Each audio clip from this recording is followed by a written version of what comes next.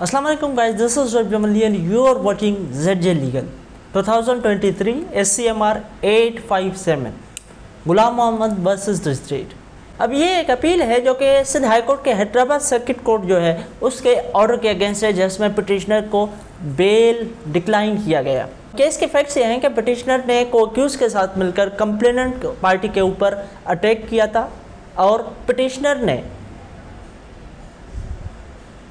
Complainant को जान से मारने की इंटेंशन के साथ फायरिंग की जिससे उसका जो ईयर है, कान और शोल्डर जो है, वो ज़ख्मी हुआ है। अब इसके अलावा जो को अक्यूज़ हैं, उन्होंने कंप्लेनेंट के भांजा और बेटे के ऊपर फायरिंग की जिससे कंप्लेनेंट के जो भांजे थे, उसकी वफात हो गई। जबकि कंप्लेनेंट के बेटे को भी इंजरीज पहुँची हैं। अगर आर्ग्यूमेंट्स के हवाले से बात की जाए तो पटिशनर के आर्ग्यूमेंट्स ये थे कि उनको फाल्सली घसीटा जा रहा है इस केस में, और ये जो एफआईआर दर्ज हुई है, उस वो टू डेज़ के डिले के साथ दर्ज हुई है, और ये एक काउंटर वरियन है, और उसमें फर्दर इंक्वायरी की ज़रूरत है।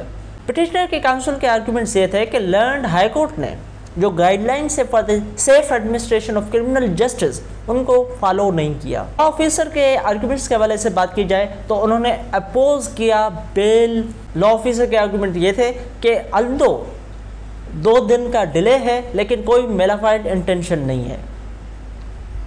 पिटिशनर स्पेसिफिकली नॉमिनेटेड है, और पिटिशनर कोई लीनेंसी डिज़र्व नहीं करते। अगर कोर्ट के ऑब्जर्वेशन से हवाले से बात की जाए तो कोर्ट ने ऑब्ज़र्व किया है कि जो पिटिशनर का वर्जन है कि कंप्लेनेंट पार्टी ने एक्चुअली उनके विलेज के ऊपर हमला किया है, जिससे पिटिशनर के लेफ़्ट आर्म को इंजरी पहुँचा है।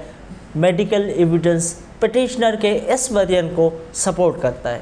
एफआईआर के हवाले से कोर्ट ने कहा है कि जो दो दिन का डिले है, उसके हवाले से कोई एक्सप्लेनेशन नहीं दिया गया है और कोर्ट ने हेल्ड किया कि जो लिबर्टी है राइट टू लिबर्टी ये एक प्रीशियस राइट है और फंडामेंटल राइट है।